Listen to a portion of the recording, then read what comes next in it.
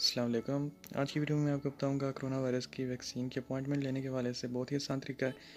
Google पर आपने लिखना है प्रोनोता पर वैक्सीनो कोविड, और जो पहला ऑप्शन आएगा उस पर आपने क्लिक करना है। तो आगे ये पेज आ जाएगा। तो आगे ये पेज आ जाएगा रेजो ने लोमबार दिया। इस पर आपने स्क्रॉल करना है। तो ये आगे ऑप्शन आएगा प्रेनोता इल वैक्सीनो। इस पर क्लिक कर देना है आपने। तो एक नया पेज ओपन हो जाएगा।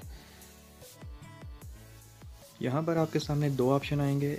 एक नूमेरो दी टेसेरा सनितारिया और एक कोदिजे फिस्काल है तो नूमेरो दी टेसेरा सनितारिया कौन सा होता है? ये कोदिजे फिस्काल जो है ब्लू कार्ड होता है जो टैक्स नंबर वाला। उसकी बैक साइड पे सबसे नीचे आप देखें तो ये नंबर लिखे होते हैं।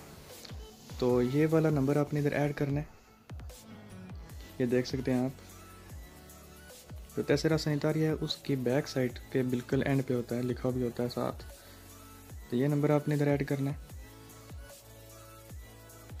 इसके बाद दूसरे ऑप्शन में आपने अपना कोदी शफिस काले का जो कोड है, वो ऐड करना है, जो फ्रंट पे होता है।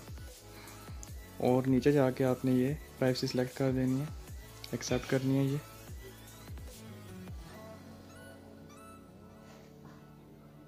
ये यहाँ से एक्सेप्ट करके आपने ये एच पे क्लिक कर देना है।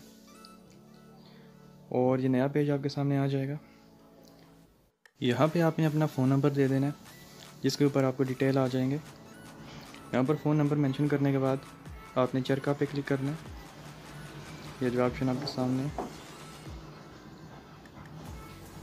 यहाँ पर क्लिक करेंगे तो आपके सामने एक नया पेज और आ जाएगा, जहाँ पर आपने सेलेक्ट कर लेना है अपना सिटी, जो नज़दीक तरीन जहाँ पर कैंप लगा होगा। और जो टाइम आपको सूटेबल का, वो आपने सेलेक्ट कर देना है। अभी चूँकि मैंने पहले सेलेक्ट किया हुआ, इसलिए ये मेरी अपॉइंटमेंट की जो सारी डिटेल है, वो सामने आ गई है।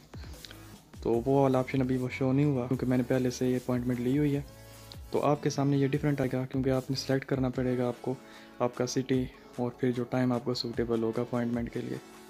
तो यहाँ पर ये नीचे जो ऑप्शन है स्तंपे वाला, यहाँ पर आप क्लिक करेंगे तो आपके सामने बल्कि आपके फ़ोन में स्तंपा भी सेव हो जाएगा, जिसके ऊपर सारी डिटेल लिखी होगी अपॉइंटमेंट की डेट और टाइम वगैरह।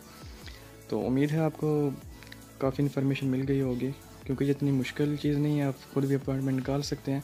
फिर भी आपको कोई परेशानी पेश आए, कोई मुश्किल पेश आए तो आप कमेंट करके मुझसे पूछ सकते हैं, मैं आपको गाइड कर दूँगा इन तो दुआ में याद रखिएगा, मज़ीद ऐसी वीडियोज़ के लिए मेरा चैनल ज़रूर सब्सक्राइब करें। अल्लाह हाफिज़।